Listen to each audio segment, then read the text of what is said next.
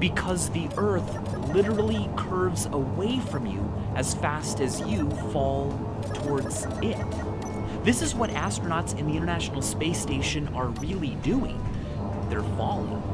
It's a common misconception that astronauts float around weightless in space because there is no gravity there. But there's plenty of gravity. In fact, there's pretty much the same amount of gravity operating on them that there is operating on you right now while you watch this video.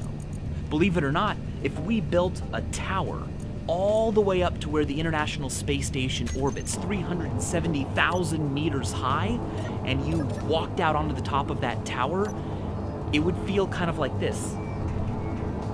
You would just be walking around like I'm walking right now. You wouldn't feel that much different. But the International Space Station would be whizzing by at 17,000 miles per hour. It has to because they are falling.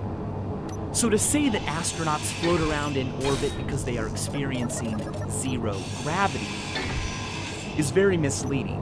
Really, what they are feeling is zero g, where g is acceleration felt as weight. g hurts so good.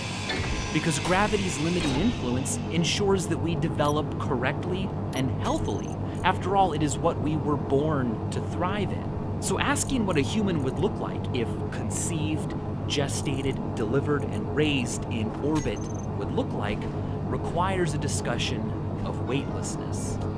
Realistically, people building colonies on planets beyond Earth or traveling through space for long periods of time who expected new humans to be born would utilize technology that helped mimic conditions here on Earth. But until artificial gravity is perfected and can be easily implemented, it's important to understand the effect weightlessness has on